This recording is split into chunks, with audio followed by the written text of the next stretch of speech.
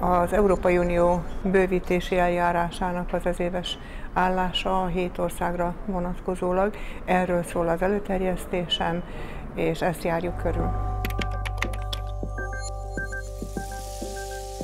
Mindegyik ország tudja saját magáról, amikor csatlakozott, hogy mennyi mindent kellett megváltoztatnia ahhoz, hogy a közös munkában részt vehessen. Ez nagyon sok tekintetben az országoknak előnyére válik.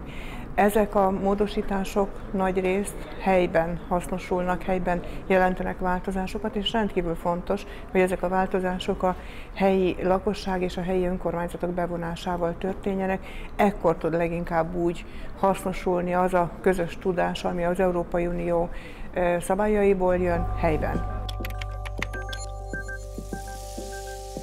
Csongrád megye, ahonnan én jöttem, a szerb határ mentén van. Szerbia nem tagja az Európai Uniónak, tehát mi valaminek a szélén vagyunk.